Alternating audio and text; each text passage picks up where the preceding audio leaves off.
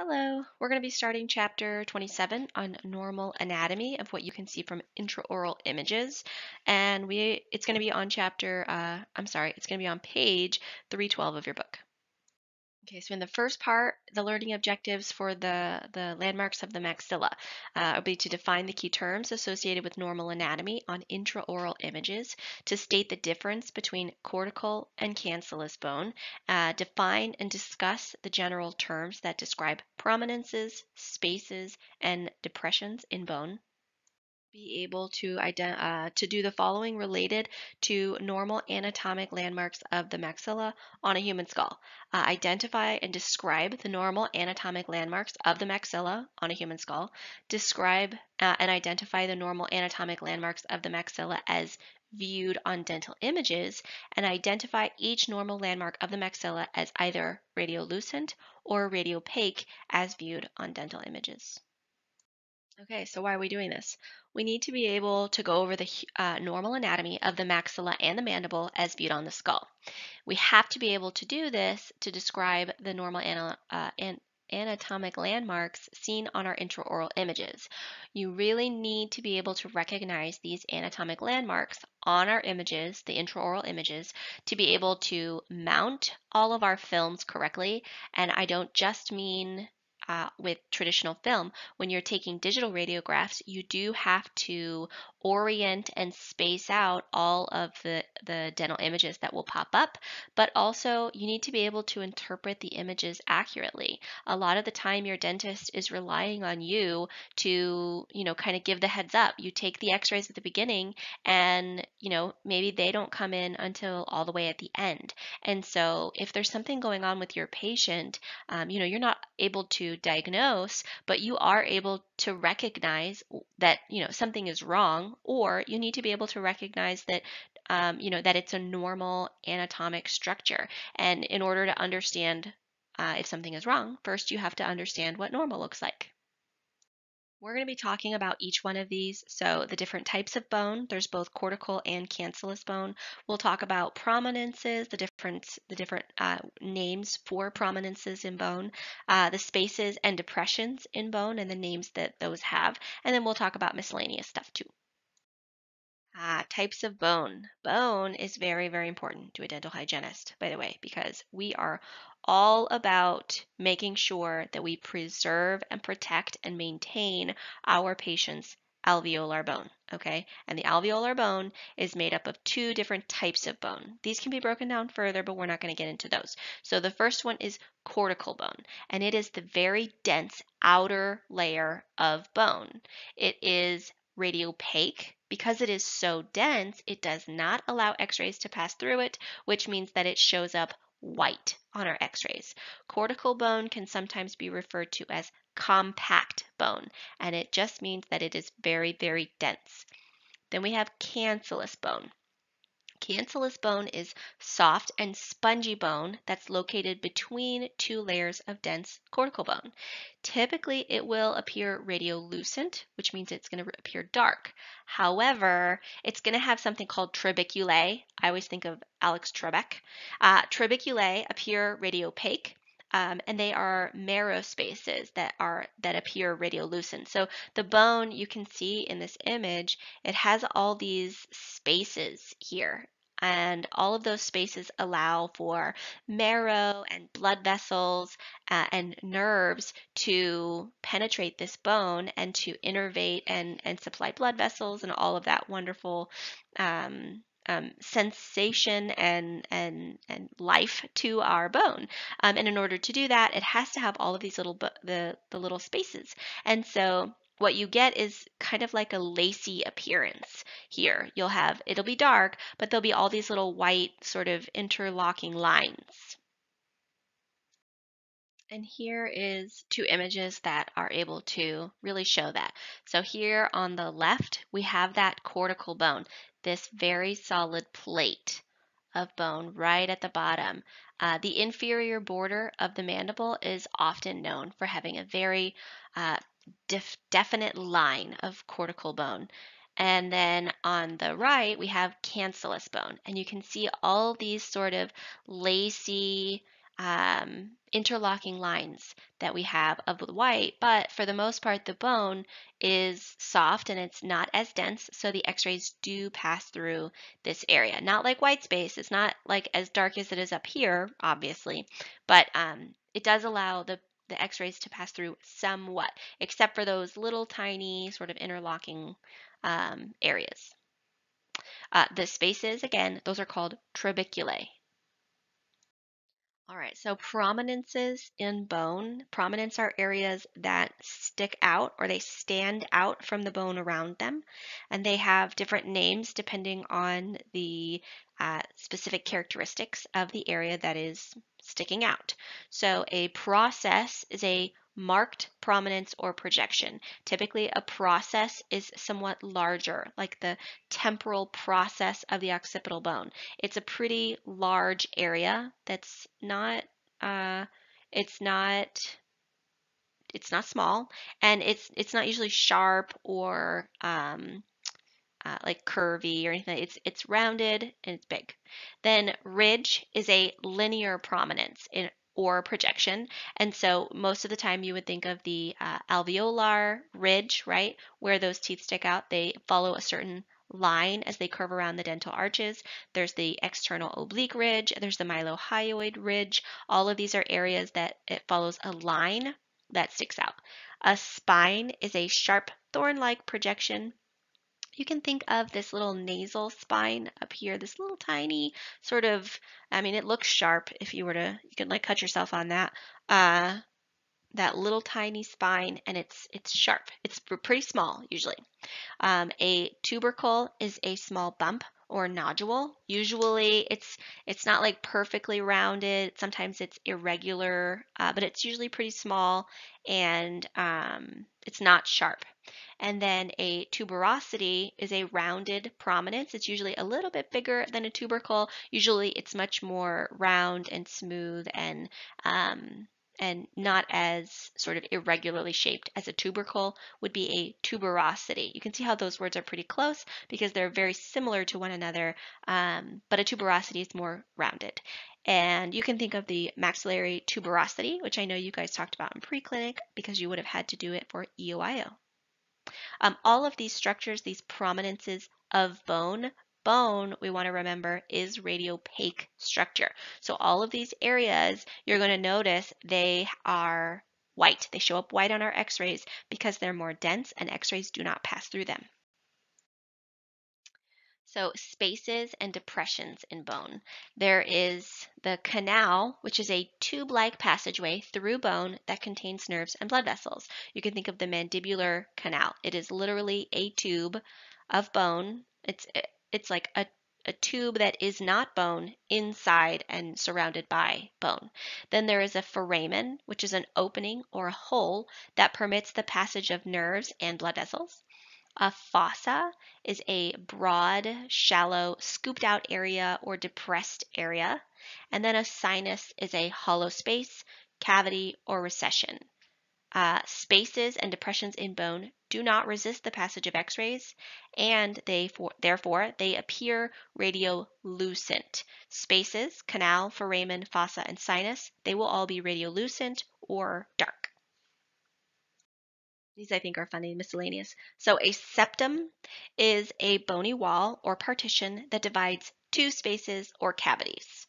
Uh, think of the nasal septum, right? It divides our nose, our sort of nasal cavity in half. And uh, if you have like a deviated septum, you have a hard time breathing, right? Um, this shows up radiopaque, the little wall, the part that divides our nose or our nasal um, cavity in half, that little wall, that is radiopaque, which means it shows up white because it doesn't let x-rays pass through it. Um, the septum can be present within the space of a fossa or a sinus. That's usually where you'll find a septum. And then a suture is an immovable joint representing a line of union between adjoining bones of the skull. So as you guys are probably learning in head and neck anatomy, there are sutures. Anytime two bones um, are fused together, there is a suture. And that suture while the bones are usually uh, very, very well attached to one another, they're not perfectly um, you know, meshed. There is always a little tiny area where it's radiolucent. It's more radiolucent than the two bones that are touching one another. And you can see here, this is the, uh, the median palatine uh, suture, and you can see it's the little radiolucent line. You'll see this a lot on x-rays. I see a lot of students who will take this x-ray on a patient and it's been, you know, a few months since you've had radiology and you see something like this and you kind of, you're like, oh my God, something wrong with my patient. Um, that area is, is totally normal. It's just where the suture is. Um, and so a suture is radiolucent, but a septum is radiopaque. Both of them are kind of just this little thin line. All right, so the bony landmarks of the maxilla. The upper jaw is composed of two paired bones, the maxillae. Most of the time, once these two maxillae have fused together, they are considered one. They're mostly they're talked about or referred to as like a single bone, the maxilla. But they are not. They're two bones that fuse together. Uh, the paired maxillae meet at the midline of the face. Now, the maxilla is a very, very important bone. It is the area where most of the time all of the nerves we need pass through the maxilla at some point, and all of the bones of your face, not your head, just your face, will touch the maxilla. And um, so not only does the maxilla form the floor of the orbit of the eye, right? So the bottom of the eye touches the maxilla, but it also has the sides and the floor of the nasal cavities. It completely encompasses the nasal cavity. And then it also makes up the hard palate and all of the teeth um, of the, the maxillary teeth are on the bottom of the maxilla. So not only is the maxilla, you know, holding up our eyeballs and containing our nose, but it's also holding our upper teeth in uh, from the bottom as well. So it's, it's a very important bone right in the middle of our face. All right, so being such an important bone in the middle of our face, then it has its own landmarks, and there are quite a few of them. We're going to talk about each one of these, wh where they are, and what they look like. So we'll talk about the incisive foramen. We'll talk about the superior foramina of the incisive canal. We'll talk about the median palatal suture, which we've talked about a little bit, the lateral fossa, the nasal cavity, the nasal septum, the floor of the nasal cavity, and the anterior nasal spine, which I also kind of talked about a little bit. But wait, there's more. There's the inferior nasal concha, the maxillary sinus, which includes the septa within the maxillary sinus and the nutrient canals within the maxillary sinus. There is an inverted Y. There's a maxillary tuberosity, a hamulus, a zygomatic process of the maxilla, and the zygoma. First up is the incisive foramen. Now remember, a foramen is a hole in bone, okay? So the incisive foramen is a little tiny hole or uh, opening in the bone right there between numbers 8 and 9. It's an opening or a hole in bone that's located at the midline of the anterior portion of the hard palate, directly posterior to the maxillary central incisors. In EOIO, each of you remember having to look at and palpate the um, the nasopalatine or the incisive papilla. That is this. The, the nerves that come through the incisive foramen actually are why that incisive papilla is so darn sensitive because of this little foramen. It looks like a very small or uh, ovoid or round, it's, it's pretty ovoid, uh, radiolucent area located between the roots of the maxillary central incisors. Um, we sometimes will see this on our x-rays, um, not too terribly often. Usually it's not something you get right at the right angle that you get it perfectly like this one is. Um, but if you look at this picture here, or if you're looking in your book, it is on figure 27-14. Next up is the superior foramina of the incisive canal. So a foramen is one, one little opening, one little bony, well, not bony hole. The uh, superior foramina well, superior means above. Foramina means more than one hole of the incisive canal. So uh, this is two tiny openings or holes in bone that are located on the floor of the nasal cavity. Then, while inside the bone, they actually join together to form the incisive canal, which then exits through the incisive uh, foramen. It looks like two small round radiolucencies located superior to the apices of the maxillary central incisors. So if you see here on your x-ray, those little areas, the, I'm sorry, the little arrows, they are pointing at the, um, the superior foramina of the incisive canal. This is what I was talking about when I said usually you can't see the, um, the incisive foramen, but the incisive foramen is this little sort of dark area right there. This soft, uh, or this line right here along this edge, that's a soft tissue sort of line, and that's the nose that we are seeing on our patient. Um, sometimes this is the lip if they have their, their lip pulled up a little bit, but usually on an x-ray like this, it's the nose. Um, anyway, this, these little tiny, um, they're, they're pretty tiny on a person. Obviously on this x-ray, because it's enlarged like this, it looks bigger. But those are the superior foramina of the incisive canal. They're going to join together here, and they're going to exit out the incisive foramen. All right, like we already talked about, the median palatal suture. This is an immovable joint between two palatine processes of the maxilla. So the two palatal bones the, the uh, maxillae, they fuse together right in the center, and there's just this little tiny line where that fusion happened. It looks like a radiolucent line between the maxillary central incisors. It almost looks like this area is just cut right in half. Well, because it is. This is one bone and this is one bone, right? The palatine processes form the major portion of the hard palate, and inside with soft tissue, we see the uh, median palatal suture by the median palatal um, uh, raphe, right? The uh, median palatal suture, palatine suture extends from the alveolar bone between the maxillary central incisors to the posterior hard palate. Sometimes patients will uh, develop that torus right in the center and they won't be able to feel um, that area as it goes all the way back. But the two hard palates together uh, the two the two maxillae bones, those fuse together, and then it goes all the way back to the palatal bones. Um, like I said before, you're going to see this on an x-ray probably a year or two from now. You're going to see this big old line right in the center of someone's face. It's when you take their PA, and it's going to it's going to make you stop and think for a second. But I want you to remember that this is a very normal thing. Next up is the lateral fossa. Now remember that a fossa is a depression in bone, right? And a depression shows up radiolucent.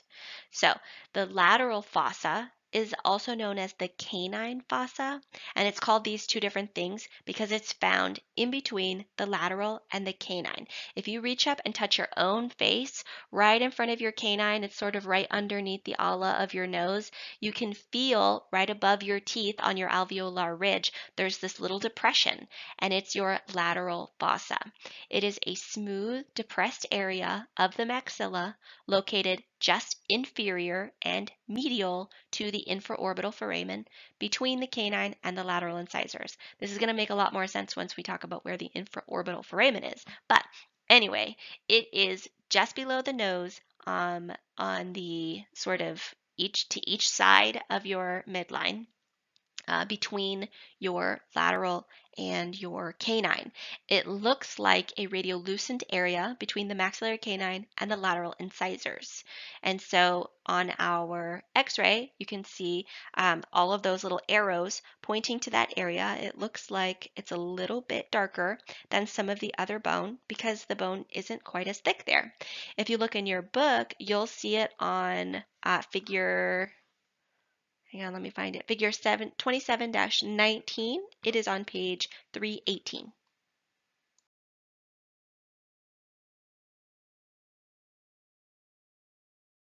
So then the nasal septum, a septum being a little bony wall or partition that divides the nasal cavity into the right and the left nasal fossa. Uh, is like more than one fossa. Anyway, um, it's formed by the vomer. I'm sure you guys are learning about that one in head and neck. The vomer bone is its own little sort of um, bone that's really small and it um, it sits like right at the center of your nose. Anyway, um, it's formed by the vomer and a port and a portion of the ethmoid bone and cartilage. So the nasal septum is what uh, separates your uh, nasal cavity into two halves. Um, sometimes people have a deviated uh, nasal septum, and it just means that the nasal septum isn't in the middle, and so those people have a harder time breathing.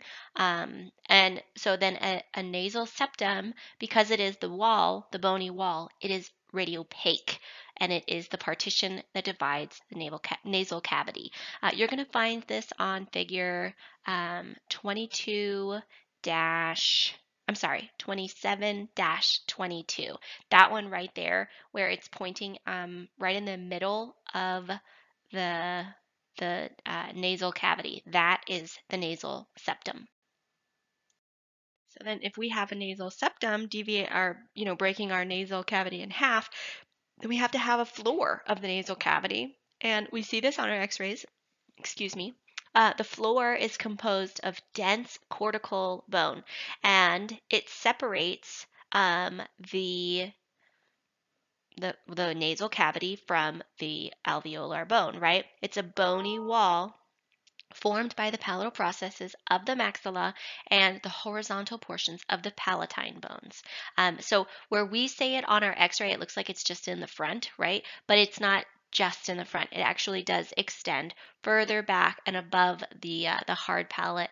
Um, and so on our x-rays, the floor of the nasal cavity is a dense radiopaque band of bone right above the maxillary incisors. On an x-ray, it shows it's two-dimensional, but in real life, it is three-dimensional and it extends uh, further sort of deep into the face.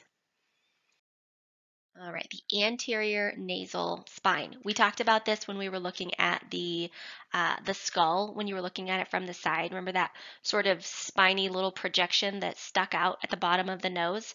That's this thing.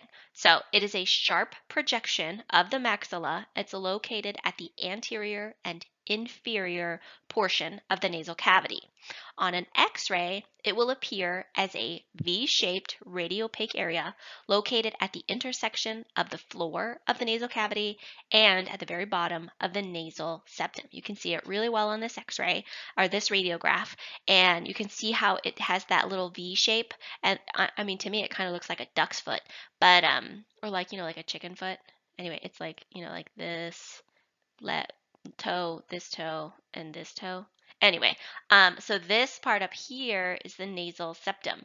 This part down here, like these areas coming down to the center, this is the floor of the nasal um, the, the inferior border of the, the floor of the nasal cavity.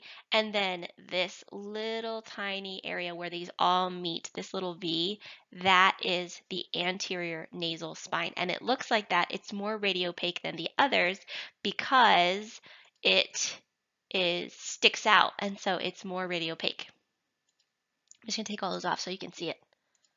See how this this little tiny spot right here, this is a little uh, spine sticking out. It's really sharp, sticks right out. The uh, inferior nasal concha. I don't know what it is about this word, but it just it just doesn't stick with me. It doesn't look like it's supposed to be pronounced that way. Um, I don't know. I, hygiene school, I was every time I came up uh, on this word, I was like constantly tripping over it.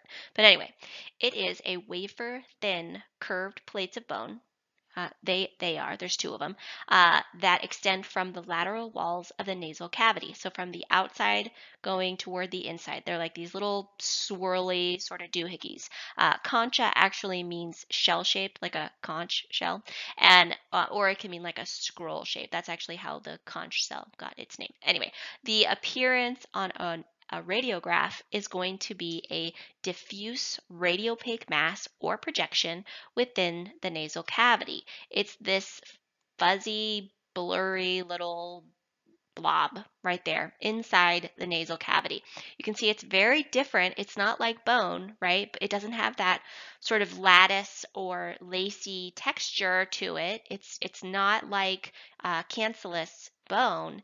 It is um, it's just this fuzzy, blurry, sort of foggy looking mass inside the nose, and that is the inferior nasal concha. You can see that on page 320 in figure 27-26.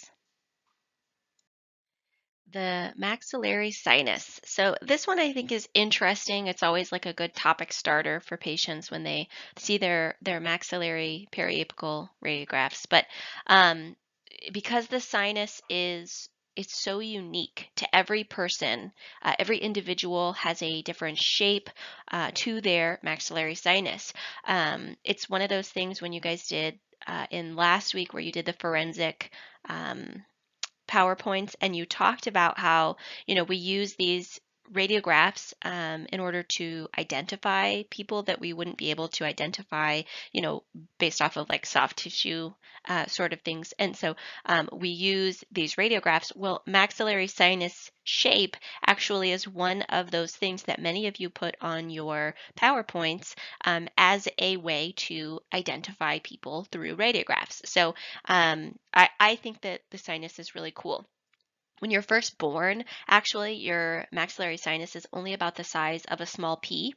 And then as you grow, it grows. But also, you have to think about those permanent teeth that are sort of lying in wait uh, inside the alveolar bone for the child to grow, exfoliate the primary teeth, and then those permanent teeth are able to grow in. And so once those teeth grow in, they take up less space, obviously, inside the alveolar process, and the uh, the sinus is able to fill in that space and take up more room, which is good. It's one of those reasons why, you know, when you see kiddos and you think they're all like snot-nosed kiddos, they don't have a lot of room inside their their sinus cavity for all of that mucus. So it sort of spills out the front of them.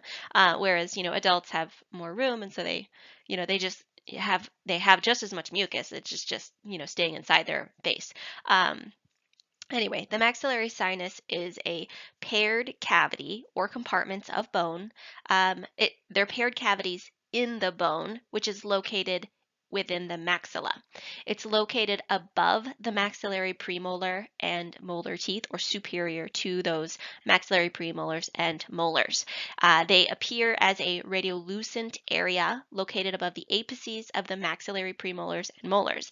This radiograph is really nice because it shows you what happens when patients lose teeth. Um, the sinus cavity will actually fall or drop down into that space because those maxillary teeth, uh, the roots of them actually kind of hold up that sinus and prevent that bone from resorbing from the top. And I mean, to a certain extent, it prevents bone from resorbing from the bottom, but you guys will learn about that later. Um, and so the teeth play a really important role here in keeping that sinus up where it's supposed to be. It's okay, there's nothing wrong with this sinus, you know, uh, but when a patient um, is going to have an extraction, the dentist will require a periapical radiograph of that area in order to see where that sinus is. Because if the apice of the sign of the tooth is kind of up at the you know at the very bottom of the sinus and then they pull that tooth out there's a a, a chance sometimes it's a very good chance and sometimes you know it's not as likely but when they pull that tooth they actually sometimes can have a communication between the sinus and the oral cavity because um, you know they pulled the tooth and so now there there's a hole and it just it's connected to the sinus. So um, you know sometimes you'll have drainage of the sinus into their mouth um, and and it happens and then uh, you know when that happens the dentist usually will uh, put in like a bone graft or something and, and seal that area off to try to reduce that um, sort of of communication. Um, the floor of the maxillary sinus is composed of dense cortical bone but the actual maxillary sinus itself is a cavity, okay? Uh, what, what we're looking at here with those arrows, that is the floor of the maxillary sinus, okay? So septa within the maxillary sinus, um, septa is the plural version of septum. So a septum, which is a bony wall or a partition, right? Like the nasal septum. Septa are more than one. And it, they are, sorry, not it, they are bony walls or partitions that appear to divide the maxillary sinus into compartments. They look like radiopaque or white lines within the maxillary sinus. The presence and number vary depending on the anatomy of the individual. This is another one of those parts of the maxillary sinus that really give individuality to each person that you see. Um, your book, whoever chose this picture for the book is also probably the person who chooses the the radiographs for your boards because it's a horrible, horrible picture of septa. It's it's not at all a good example. So uh, while your book gives you figure 27-29, it's on page 321 at the bottom.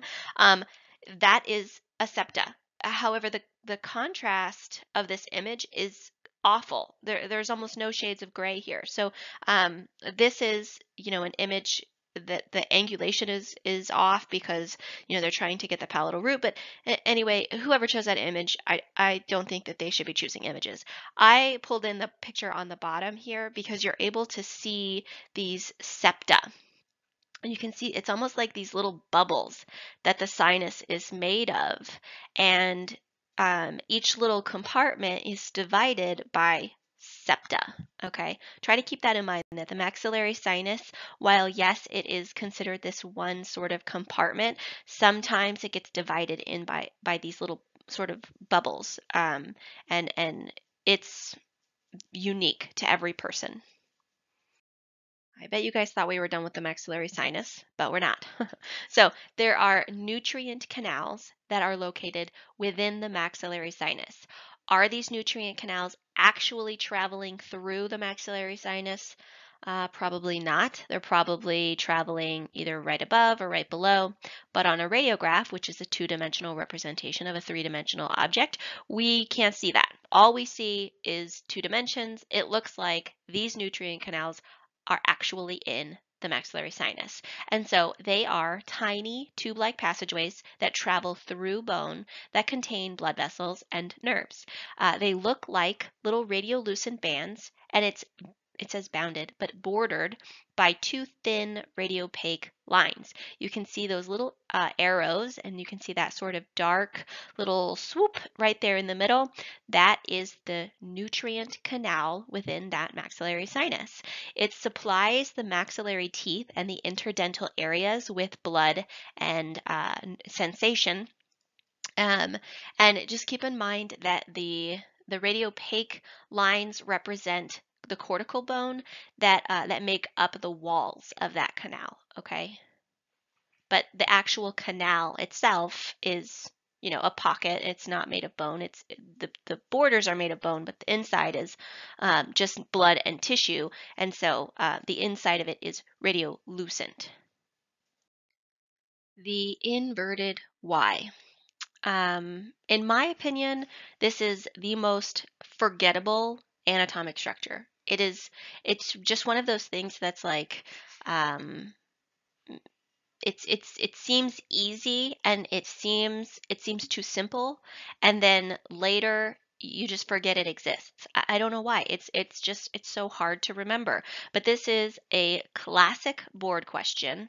Uh, you're probably going to see it there, and it's also uh, a classically missed board question uh, students, dental hygiene, I'm sure dentists themselves, uh, it is a uh, very forgettable structure. Uh, so don't forget about this one. Um, so the inverted Y is the intersection of the maxillary sinus and the nasal cavity. It's where those two meet. The uh, it, it, appears as a radiopaque upside down Y formed by the intersection of the lateral wall of the nasal fossa and the anterior border of the maxillary sinus. It is where these two meet. So the uh, the nasal cavity is over here, and then this is the maxillary uh, sinus, and here right in between where I where know, the actually where the little arrows show you, um, that is the inverted Y. It just looks like an upside down white Y. It's always located above the maxillary canine. Sometimes it's a little bit anterior to right above it, but if uh, if you're seeing the Y on any structure where or any radiograph that you can't also see the canine, you're wrong. It's it's it's always on the same radiograph. You can always see a canine on. Uh, it is made of dense cortical bone, right? Because we know the floor of the sinus is made of cortical bone, and the floor of the nasal cavity is made of cortical bone. So obviously, the the two together uh, form a structure made of cortical bone. Anyway, um, you can see this in your book on figure 27-31, and it is on page 322 the maxillary tuberosity. This should feel very familiar to you since I know you all got points on this one for your for your EOIO exams. And um, it it is a soft tissue structure when you see it with the tissue on there, but it's also a max the maxillary tuberosity is the same area when you see it in bone. It is just the back of the alveolar process there. So it's um, the description is a rounded prominence of bone that extends posterior to the third molar region.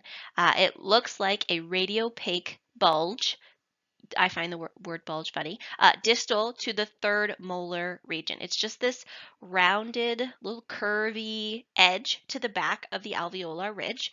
And um, it's, it's, yeah, it's there. It's, you can see it, you can touch it um, and it always shows up on our x-rays. Um, it's both the bone is the maxillary tuberosity and the soft tissue area, maxillary tuberosity. The hamulus. So this is easy if you are, um, if they just there's just one little arrow, it's easy sometimes to confuse the maxillary tuberosity with the hamulus, but don't. Okay, so the hamulus is a small hook-like projection of bone extending from the medial pterygoid plate of the sphenoid bone.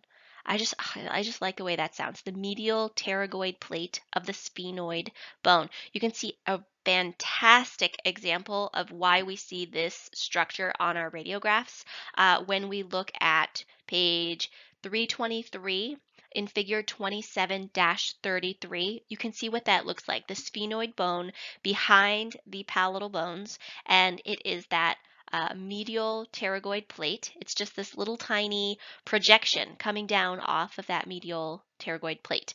Um, and so when we place our sensor in there and we place the sensor, uh, for the most part, it's, it's fairly close to the midline of the palate. And uh, so this structure shows up on our radiographs. It's not very dense, but it is, it's made of bone. So it does show up as a radiopaque hook-like projection posterior to the maxillary tuberosity area. Be careful whenever you see this one or the maxillary tuberosity, make sure you're sure which structure the area is pointing at, okay? Um, I always think of Hamulus uh, as like Hamlet, and he's back there like holding up the, the skull and like the to be or not to be sort of Shakespeare thing back there happening. Um, it's so the Hamulus is also called the hamular process. Um, and yeah, it's on. Uh, it's in your book on page uh, 323, which I already said. But this radiograph itself is figure 27-34. One of these days, I'm gonna uh, like learn how to do like sweet editing skills, and I'm gonna be able to like overlay things and and I don't know, do cool stuff with these. I, I always like imagine like, oh yeah, I'm gonna find this picture and I'm gonna put it in the slideshow, and then it's gonna you know, make it, it's all, it's all going to make sense. And then I try to put the picture in there and it looks terrible. So I, I just go, you know, with what, what's, what's necessary. But anyway, moving on. The zygomatic process of the maxilla. Um, this is a bony projection of the maxilla that articulates with the zygoma or the malar bone, right? Those that is the cheekbone. The appearance on a radiograph is a J or a U-shaped radiopacity, which means it's white, located superior to the maxillary first molar region. Um, the zygomatic process of the maxilla is composed of dense excuse me, dense cortical bone, okay? Try to remember that the zygomatic process of the maxilla is just the part of the maxilla that reaches out to touch the zygomatic bone. Okay, so even though it starts out zygomatic process, it's it's not on the zygoma. It is on the maxilla. Okay, so don't get those confused. Make sure you get those nice and separated. The maxillary, uh, the, the maxillary has a process that sticks out for the zygoma to attach to. Okay. And then, of course, there is the zygoma, which is the cheekbone. It is also called the, the malar bone, or it's also called a zygomatic bone. I don't know. I, I like zygomatic. I like zoma. I like anything that starts with a Z. I think like it's. I, I just think it's fancy. So uh, it articulates with the the zygomatic process of the maxilla, and it is a diffuse radiopaque band extending posteriorly from the zygomatic process of the maxilla. So on this image, this part right here, this is the zygomatic process of the maxilla. And then this structure extending back, that is the cheekbone. That is the zygoma. Okay, don't get this guy mixed up with this guy. Okay, keep those two separate. So the zygoma is the cheekbone. The zygomatic process is the maxilla. This is on uh, page 323 and no, I'm sorry, it's on page 324 and it's figure 27-37 and 27-38. All right, we're on to the mandibular uh, anatomic structures. So the learning objectives for uh, normal anatomic landmarks of the mandible and tooth anatomy will be to be able to identify and describe the normal anatomic landmarks of the mandible on a human skull, to identify and describe the normal anatomic landmarks of the maxilla as viewed on dental images. That's that's just a part of the other because it's technically all one chapter. And then uh, identify each normal landmark of the mandible as either radiolucent or radiopaque as viewed on dental images. Identify and describe the appearance of normal tooth anatomy and supporting structures as viewed on dental images. Identify each normal tooth structure as radiolucent or radiopaque as viewed on dental images. Um, and identify the primary teeth and eruption patterns of the permanent teeth as viewed on dental images. Most importantly is the mandible, right, of the mandibular structures, of course. The, it is the largest and strongest bone of the face, and it's divided into three main parts. First, there is the ramus, which is the vertical portion found on the posterior aspect to the third molar. Um, so everything from the third molar back is considered the ramus. There's, you know, the coronoid and the, the, anyway, the body is the horizontal U-shaped portion from ramus to ramus, um, and then the alveolar process of the mandible, which encases and supports the teeth. You can see the picture here is the ramus and the body, and then if you look in your book on page 325, you'll see the highlighted in red portion that is the alveolar process. I forgot to say on that last slide that uh, that the mandible is the only movable uh, bone of the human face. Okay, so keep in mind that all of the other bones are, uh, they stay still. We can't move those bones except for our mandible. The bony landmarks that we're going to be talking about of the mandible will include the genial tubercles, the lingual foramen, nutrient canals, the mental ridge, the mental fossa, and the mental foramen. We're going to talk about where each of these are and what they look like on radiographs. We'll also talk about the mandibular canal, the mylohyoid ridge, the external oblique ridge, the anterior border of the ramus, the submandibular fossa, and the coronoid process. The genial tubercles. So this is not something we see very often on a radiograph, only on mostly that uh, that center mandibular uh, PA will we be actually be able to see it, the one we're looking at here. And um, it's just such a happy word. Like genial actually means like happy or cheerful. And then uh, tubercles in my mind is like tubular. So it's it's such a I don't know like a surfer happy word whenever I think about it. Um, and they are what the genial tubercles are are there tiny little bumps of bone on the lingual aspect of the mandible. They are the attachment sites for the genioglossus and the geniohyoid muscles. This is the area where those muscles attach and it is these it's it's almost like this little bumpy sort of area around that little dot right in the center that dot in the center excuse me is the lingual foramen, okay? So not the dot. That's not what we're talking about when we say genial tubercles. We're talking about that whitish mass right around the dark dot. The dot is the lingual foramen, but the white mass around it are, is the genial tubercle. And uh, it's plural because I guess there's it's it's kind of like um like a like a Bundt cake, you know what I mean? Like how it's got the hole in the middle, but then it's like rounded all around it. Anyway, that's that's what it looks like. Uh, it looks like a ring-shaped radiopacity below the apices of the mandibular incisors, and it surrounds the lingual foramen. You can see this in your book on figure 27-43 and 27-44. So if you look the 27-43, that's what the bone looks like. Um, and it's on page 325. And then if you turn the page, you can see that radiograph um, of this image um, there. And then also in figure 27-45, that's where it shows you what the lingual foramen looks like. And you can see the sort of Bundt cake worth of bone around the edges of it. So the lingual foramen is a tiny opening or hole in bone located on the internal surface of the mandible.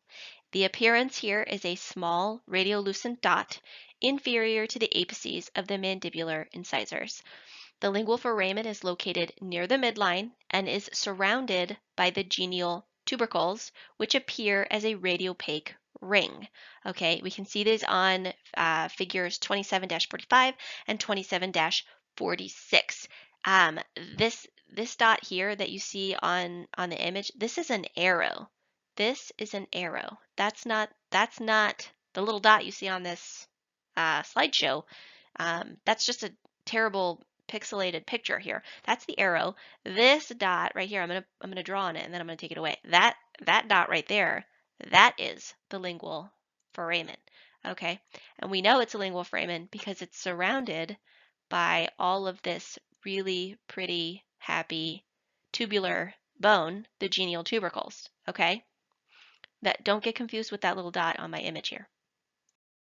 Then we have the nutrient canals. So just like the nutrient canals would travel through the maxillary sinus in order to get to the apices of the maxillary teeth, we now have nutrient canals that travel through the uh, alveolar process of our mandible in order to get to the mandibular teeth. They are tube-like passageways through bone containing nerves and blood vessels that supply the teeth.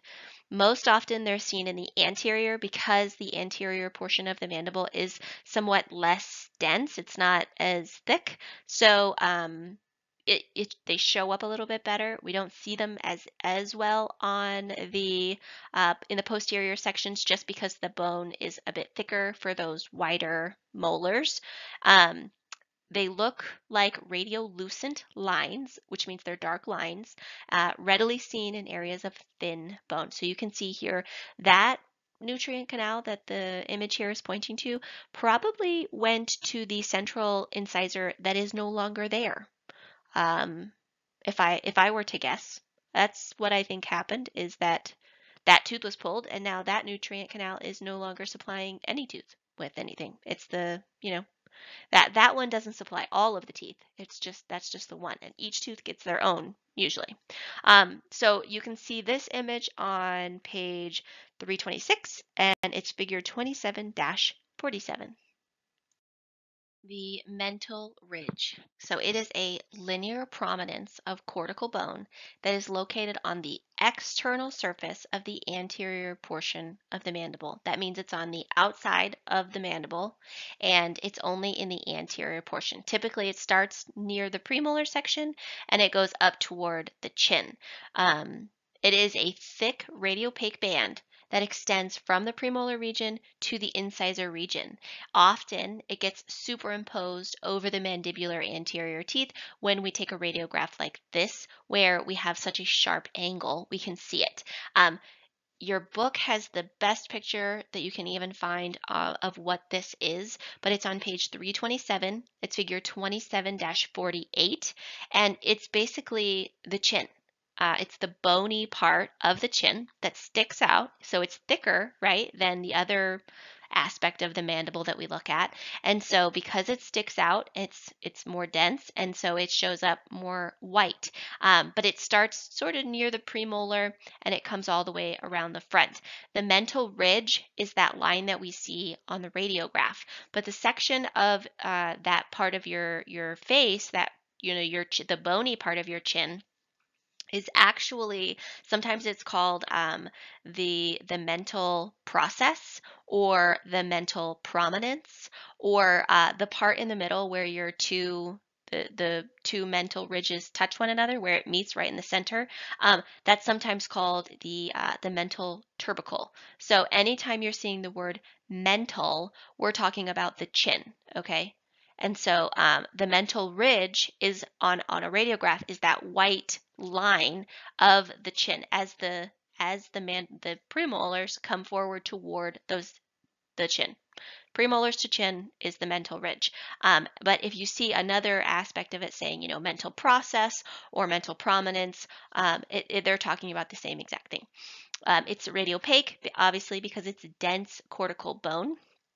And then um, on a radiograph, because of the angle that we have to take it at, typically we'll see where the midline actually slopes up just a little bit, but that is because of the angle.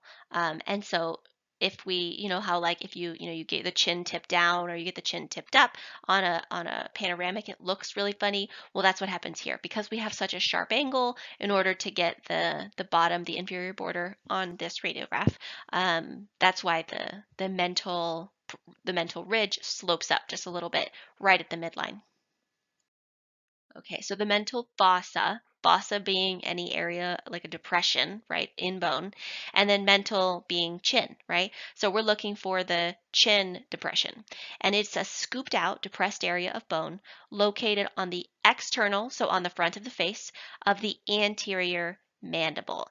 It is right above the mental ridge. And so if you see the mental ridge, the dark area right above it, that's the mental fossa. And that's what the circle is showing you. The bottom, how it's very, very white, although the, the contrast on this on this radiograph is terrible.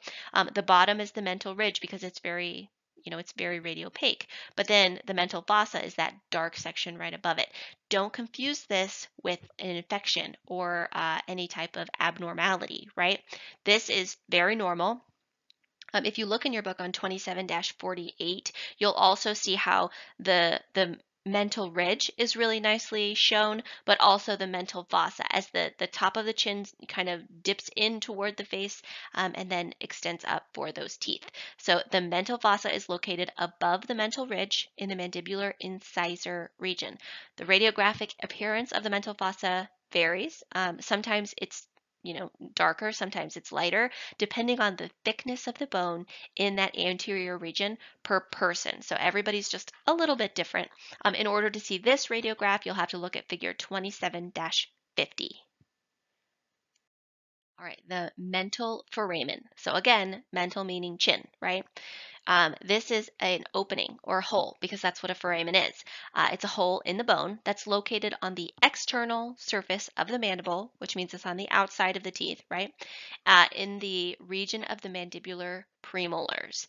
It is a small ovoid or round radiolucent area located in the apical region of the mandibular premolars. It is very commonly thought to be a periapical lesion. Okay, this is where your buccal object rule really comes in handy. Okay, because in your premolar, if you're able to see this uh, this mental foramen, so this radiolucency, um, you see it and then you're not sure, maybe the patient's having pain in that area, maybe, you know, maybe they really do have an abscess in this area, then you would move the tube head, you would take a second radiograph at a different angle, most likely you'd go posterior, right? Um, and so if you move your tube head distal, then you'll see that this, um, this uh, radiolucency would actually move the opposite direction, right? Because if it's on the same, if it moves the same direction, it would be on the lingual. If it moves it the opposite direction, then it's on the buccal. Anyway, um, so this tiny foramen is actually very important when it comes to giving local anesthetic. This is an area where we specifically give uh, an injection, and so it's it's a very important one because if we can put um, local anesthetic right there in that foramen, then we can actually innervate all of the anterior teeth, and we can um, we can you know numb those areas. And so it it supplies the blood and nerve to the lower lip and it to those lower teeth. It's very common. Uh, it's going to happen. You're going to see a patient. You're going to see the the mental foramen, and you're going to have that moment where you have that little like something's going on there. But I promise you, it's a very normal structure. The mandibular canal. So if any of you have worked for an oral surgeon, you are very familiar with this mandibular canal. Okay. Um, so this is as a canal. It is, you know, a tube-like passageway traveling through bone, right? Um, it is where blood vessels and nerves travel through the alveolar uh, area for the mandible, then the mandibular canal, obviously. It houses the inferior alveolar nerve and blood vessels. This is important because, uh, you know, next term you're going to be thinking about the inferior alveolar injection. And so uh, you need to know where the mandibular canal is in order to be able to, uh, to know where that injection is going to go. And so um, when you give the inferior alveolar injection, you actually come up and you place the needle so that it comes all the way to here, and you'll actually place the anesthetic right here above where this nerve enters into the mandibular canal. There's a little foramen right here it enters into the, the alveolar process through there. And so uh, the, there's actually a lingual nerve uh, canal that comes through along the front um, on the outside, I'm sorry, not on the outside, on the lingual side uh, for the lingual um, the lingual nerve. And uh, so on a radiograph, this mandibular canal is a radiolucent band, and it has two little thin radiopaque lines that represent the cortical walls of the canal. Um, and this is where all of the blood and the nerve pass through in order to innervate these teeth. If you've worked in an oral surgeon's office, you know that when you pull mandibular teeth, uh, especially molars, you run the risk of damaging this canal. And if you uh, you know, if the teeth or the, the roots of the teeth are kind of wrapped around this nerve canal and then you yank the tooth out, um, then you could damage the canal and actually uh, give the patient uh, peristalsis or you know they lose feeling in their um, that section of their of their face. So you know if it's on the right or the left you know then they would lose that half of of uh, sensation. So it's really important for oral surgeons to be careful when they're dealing with the mandibular canal so that they don't they don't mess stuff up. Um, but so the, the mandibular canal, you can actually see it from the, uh, from the mandibular foramen up here, this where it enters into the mandibular canal, and it actually stops way up here at the mental foramen. So this entire section on a radiograph is the mandibular canal. All right, the mylohyoid ridge is, in my opinion, the second easiest to forget structure. Uh, it's just not it's just not a very interesting structure, uh, but it, it's you know could show up on your boards certainly you're, you're going to see these words again. Um, so it is a linear prominence of bone located on the internal surface of the mandible. If you think of your hyoid, right, the hyoid bone being, you know, below and, and on the inside, the internal surface of where your jaw is, then you can kind of think of the mylohyoid ridge being on the inside and kind of along the bottom of your mandible as well. So the red section on this image here um, is is beautiful at showing you exactly where that mylohyoid ridge is. It extends from the molar region, as you can see here, forward and downward toward the lower border of the mandibular symphysis. So you can actually feel this in your own mouth if you kind of use the tip of your tongue toward, you know, one side, start at the, the mandibular molar, your last molar, and go all the way down, you can kind of set your tongue just underneath that ridge, and then you can follow it forward if you have a, a, lot of mandibular tori, then you might not be able to feel exactly where it ends. Usually it ends somewhere around the premolar section, although everyone is a little bit different. Um, you, and it's not this like sudden stop. It sort of just starts to blend in a little bit better. Um, but you can certainly feel your tongue uh, and kind of catch your tongue underneath it um, over by where your molars are. So try that out. Um, the appearance of this on a radiograph is going to be a dense radiopaque band that extends downward and forward from the molar region. You can see in this image, sometimes it does um, sort of superimpose over where those molar roots are, and that's normal.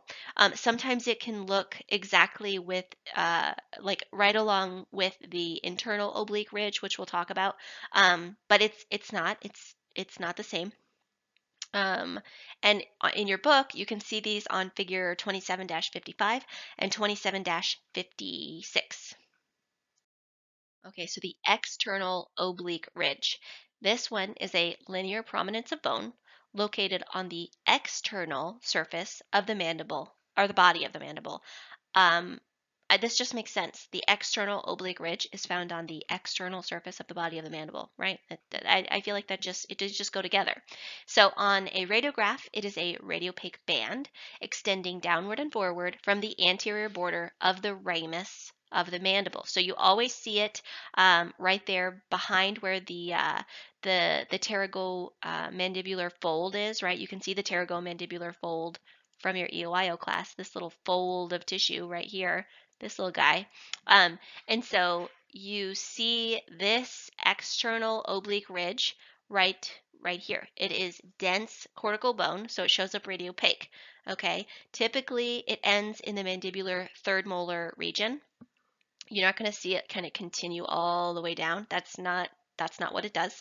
Um, so usually it it starts uh, at the very back of wherever you see um, of on a on a bite wing or a PA.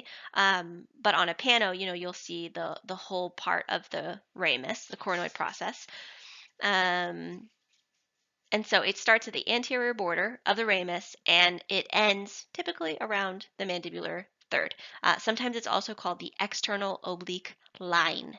You'll see it in your book on figures 27-57 and 27-58. All right, so the anterior border of the ramus. Um, the anterior border of the ramus extends vertically and downward from the coronoid process to the external oblique ridge. And on a molar bite wing, the descending ramus of the mandible may be seen as a slightly radiopaque vertical band posterior to the mandibular and uh, maxillary molars. You can see this image on figure 27-59. Um, and you can see all of those little white arrows showing you exactly where the anterior border of the ramus is. Um, on that last image, we were able, because of the contrast and the density, we were able to see a lot more shades of gray, so we could see a little bit more of the soft tissue. Um, if you make your radiograph um, have a lot of or very low contrast, you get all of those shades of gray. You're able to see some of those soft tissue structures, but when you have a um, a lower contrast and therefore your, your image is a little bit darker here, then um, well, not the whole image, you know what I mean. Um, you can see the anterior border of the ramus right there. So the submandibular fossa. It is a scooped out, depressed area of bone located on the internal surface of the mandible inferior to the mylohyoid ridge, right?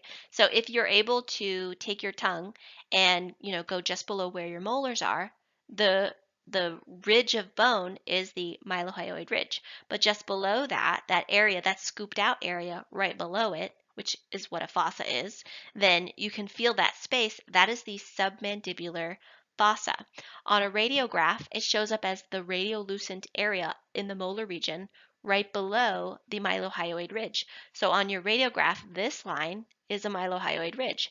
This area down here, which is much darker, obviously, is the submandibular fossa.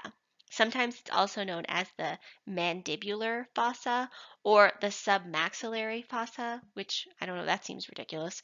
Um, it is slightly more radiolucent typically than the adjacent bone in, in, in most of your PAs because it is slightly less dense, right? So up here, the bone is nice and thick, and then down here, it's not quite as thick. And then um, the submandibular fossa is where the submandibular salivary gland is actually located. So it's really important, this submandibular fossa, that it, it's here so that there is room for your submandibular salivary gland, which is, of course, one of the glands that you uh, feel when you do your EOIO.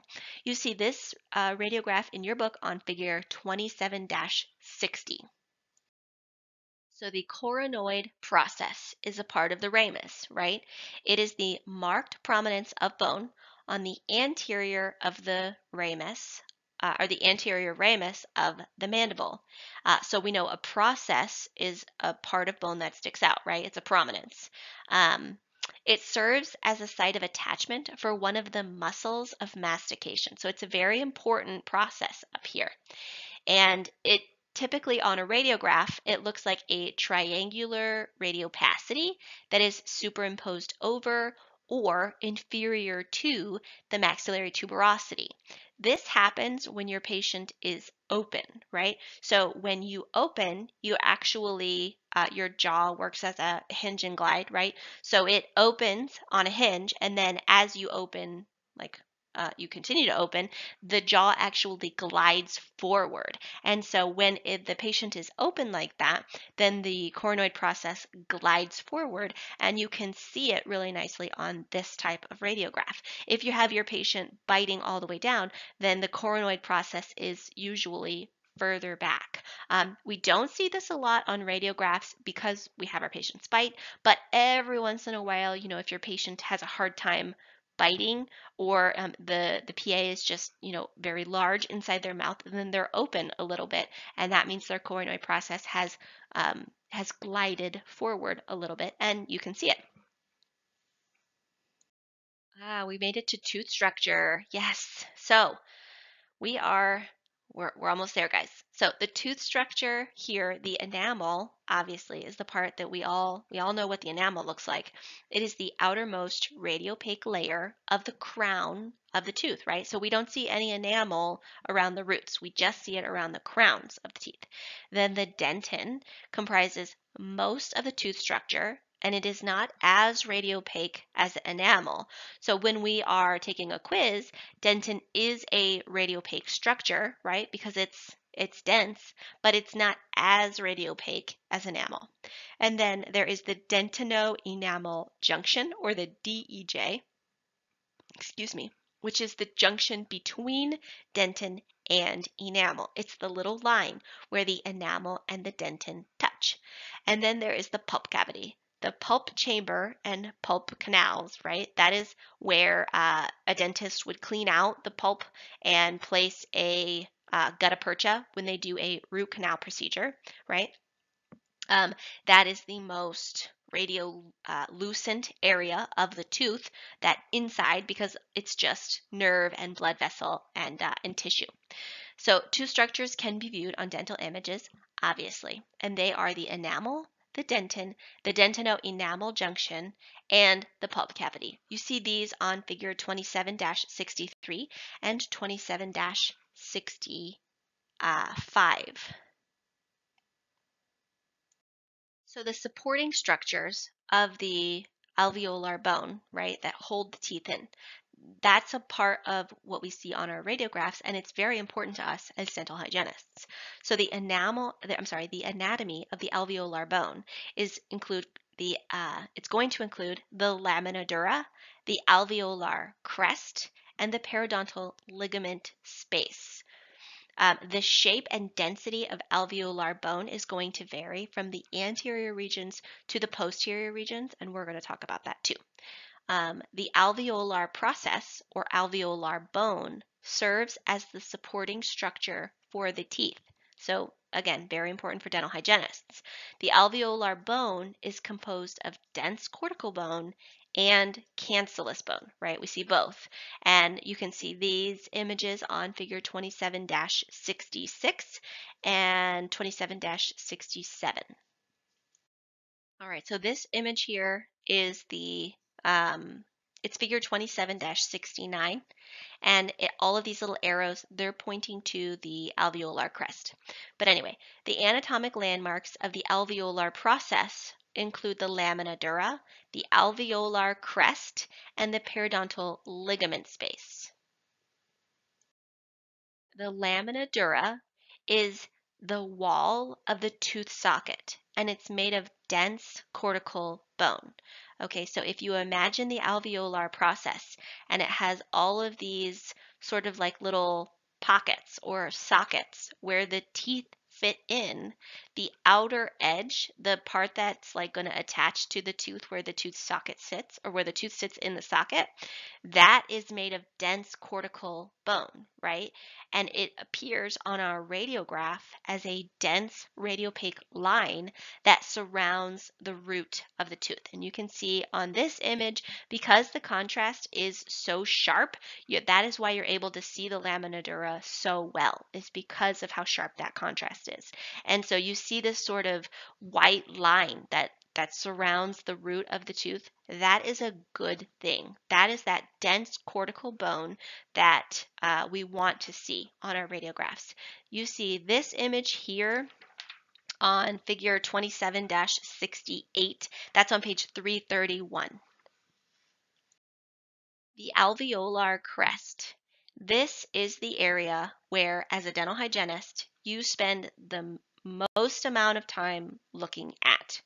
Okay, the alveolar crest is the most coronal portion of the alveolar bone found in between the teeth. It's this little section right here in between the teeth.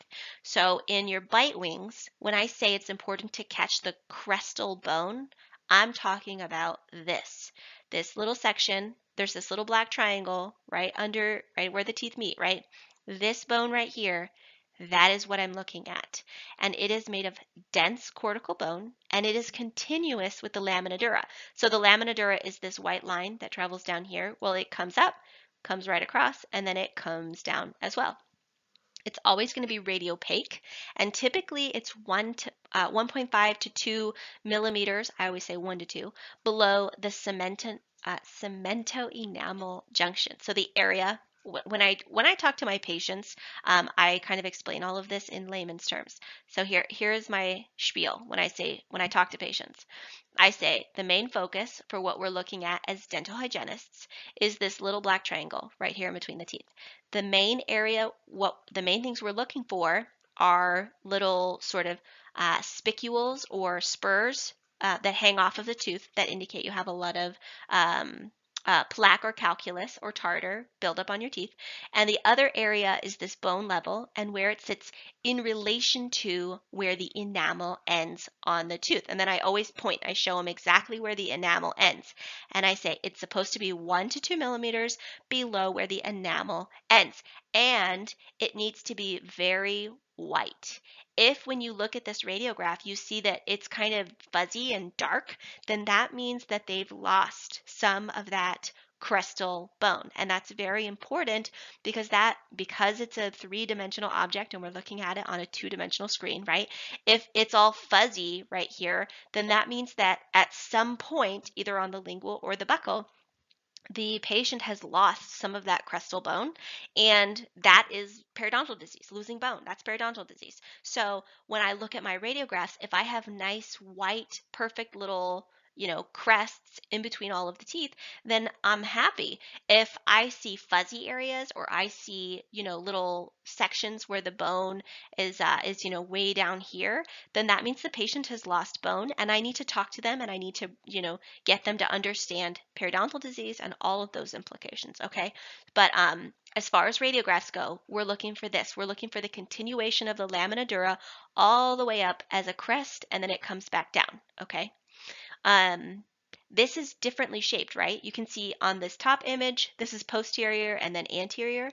This one on top has kind of flat crests, right? It's not like a perfect little archway in between the teeth. It kind of comes up, it's flat and then it goes back down, sort of like boxy shaped, right? But in the anterior down here, it's it's much more pointed, right? That's important because obviously there's a lot less space in between these teeth than there is in the posterior area. So keep that in mind when you're looking at crestal bone. But uh, on a bite wing, it, if if it's a good bite wing, I can see the crestal bone of both the maxillary and the mandibular teeth all in one image. Now, if they've lost a lot of bone and their bone is way down here or way up here, then I need to take vertical bite wings, right? So I can catch that crestal bone on both sides. And it takes significant bone loss to be able to, to not be able to see that on a horizontal bite wing. So, um, yeah, if they've lost a lot of bone, you have to take vertical bite wings. Uh, you can see this image, um, well, both of these. The top one is figure 27-69, and then the bottom image there for the anterior is 27-71. All right, so there is a periodontal ligament space, and it is the space between the root of the tooth and the lamina dura. It's a very important space okay? It's important that this space maintains its integrity, right? Um, we don't want to see the space get bigger, but we don't want to see the space get smaller either, okay? We need the space. The periodontal ligaments are little fibers that reach out from uh, the tooth, the cementum of the tooth. The little fiber reaches out and it touches uh, the the socket, right? That is how teeth are held into the, the mouth with these little fibers. And um, it's it's connective fiber tissue. There's blood vessels. There's lymphatics there. Um, if patients get calculus down in there, it actually turns black because of the um, the gravecular fluid. I'm sorry, crevicular fluid. Um, but it's it's a very important space, and it is a very thin. I'm talking very thin radiolucent line around the root of a tooth. The best one that I can see here is actually this one right here. This little space, you can see this dark line all the way from the crestal bone all the way down. That little dark line, that is the periodontal ligament space. Uh, I don't know who put this picture on bottom here, but this is a terrible picture. It's terrible. But you can kind of see this little black line all the way around this tooth. You can't really see this one. What? Maybe this one right here. Anyway, uh, this picture at the top, the best image of this is, is uh, this um, little dark line around the tooth socket. That is the periodontal ligament space. All right, and we talked about the difference and the, the shape and the density here. So in the anterior region, the normal alveolar crest appears kind of pointed and it's sharp in between the teeth. And the alveolar crest appears as a dense radiopaque line in the anterior region. The alveolar crest fibers run from the crest of the alveolar bone to the cementum in the region of the CEJ. What does that mean? It means that from the the dentino, I'm sorry, the CJ, which is the cementum, uh, cemento enamel junction, sorry, it, that where you know it goes from enamel to cementum covering the dentin. So this cementum is connected to by little fibers to the lamina dura. Okay, so in the posterior regions, the normal alveolar crest appears kind of flat and smooth in between the teeth, right? The alveolar crest appears less dense and less radiopaque than the alveolar crest we see in the anterior region, and that's okay as long as it doesn't lose that sort of lighter appearance from the cancellous bone. We want to see that cortical bone at the crest. Um, but it's okay if it's not like this perfect sort of arch look, okay? In the posterior, it's a little bit more flat, and that's normal because of the shape of the teeth, right? Um, man, I get a little squirrely when these uh, when these lectures last more than an hour. It it just feels a little long. This is probably one of the most important chapters. Um, it, it, you know, right next to the chapter 29. Um, for your boards and for you know passing uh, all of this stuff but but I, I know it's such such important material but after a while you know you get kind of drained um, so if you need to pause and then come back later when you feel fresh you do that okay we're getting close to the end though, so this is good. So uh, the primary and mixed dentitions um, are what we're going to be talking about next. Primary teeth typically begin to erupt at around six months old. Um, we all know from our last few chapters uh, from the eruption pattern that you know the two uh, mandibular central incisors will always erupt first and whatever uh, eruption pattern they had those are usually the pattern it takes to fall out around the age of three um, it's usually like two or three. All 20 primary teeth are erupted and functioning. And so on kiddos, when you're taking radiographs, by three, all of their primary teeth should be there. Um, as far as for radio for, for the radiographer, you need to be confident in being able to recognize normal anatomy in children and to know, okay, these teeth should be present and these teeth should be either exfoliated or unerupted. Um, you want to be fairly familiar or, or you know, you, you need to be pretty familiar with um, which teeth should be present and which ones shouldn't, okay? So primary dentition, primary teeth, or baby teeth, are also known as deciduous teeth. Um, deciduous is actually a word that is not just for dental. It's a deciduous tree is a tree that leaves fall off every year, um, as opposed to uh, a coniferous tree, which is uh, like a pine tree or a tree that doesn't lose its its leaves. Uh, no, no tree with leaves actually is coniferous. O only pine trees, like you know, um, trees with pine needles. Anyway, deciduous teeth fall out and then they're replaced, right? That's what deciduous means. Uh, it's composed of 10 maxillary teeth and 10 mandibular teeth, and they eventually all fall out and are replaced by permanent teeth. They play a very in integral role in the formation of the mandible and the maxilla because we cannot support all of our permanent teeth um, before we age, right? Um, before we grow. And so it's important that we have teeth that function fully um, as children. And then as we grow and we have more room, then we replace those teeth with um, you know, stronger, more long-lasting teeth. Um, an imaging examination of a child with primary dentition is a common occurrence in dental practices. And what that means is we take x-rays on kiddos. That's what that means. Your book is so funny because it gives you such a proper version, but I, I really need you to just like have those sentences where they say things like that and then just like, what the heck does that mean? It means we take we take x-rays on kiddos. That's what we do. Um, so this is figures 27-73 in your book.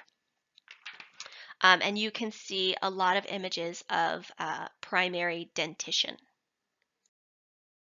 So according to the universal numbering system, primary dentition are numbered A through T.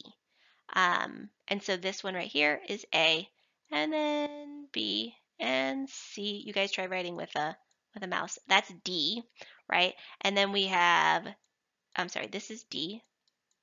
This one's E, F, G, H, I, J, and then we have K down here, L, and then M is the canine. Um, N, O, and P are always the lower two central incisors. Uh, then we have Q and R is the other canine. This one's R.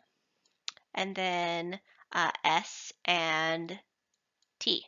Those look terrible, but these are the numbering systems we have for primary dentition. Uh, so this one is C and this one is B. um, you're going to have a moment probably in uh, in private practice where you've completely forgotten what the what the numbers of each of these teeth are. Um, not numbers, I'm sorry, letters. And um, I do a thing when I write notes where I actually put the number sign and then I put the letter. And though it feels very wrong every time I do it, like I'm like the patient is uh, has a retained number T, um, it just gives me that this is not a letter. This is a this is the a tooth that I'm referring to. I'm not just referring to a letter in my notes. Okay, so um, make sure you, as you're learning the teeth, you know how you learn like um, maybe all four of the maxillary molars are, you know, 3, 14, 19, 30. You're also going to do the same thing with primary dentition. So um, just just keep that in mind. So we see mixed dentition between the ages of 6 and 12 as the kiddos uh, begin to lose primary teeth and are replaced by permanent teeth.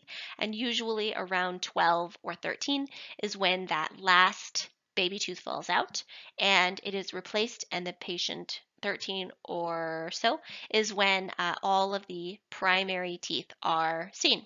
Um, and so anywhere from 6 to 12 or 13, depending on the kiddo, you're looking at a mixed dentition where, you know, some of the teeth are primary and some of them are permanent.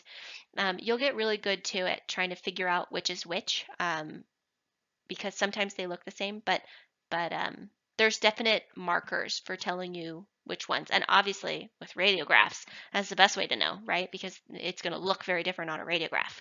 Um, they can produce a variety of dental concerns. Um, whenever you see a kiddo anywhere from the ages of 6 to 12, you need to ask them, do they have any teeth that are loose, right?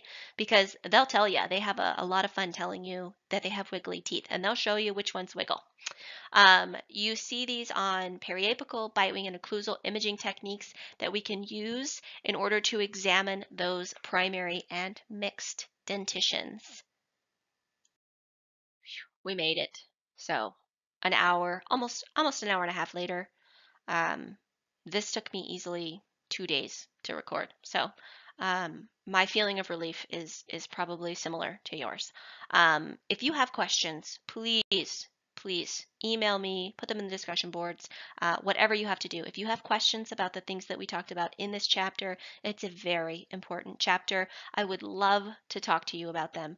Um, I would love to maybe go through if you're having trouble coming up with mnemonic, uh, uh, you know, helpful ways to remember. I would love to help you go through these. So um, please, by all means, make sure you reach out to me.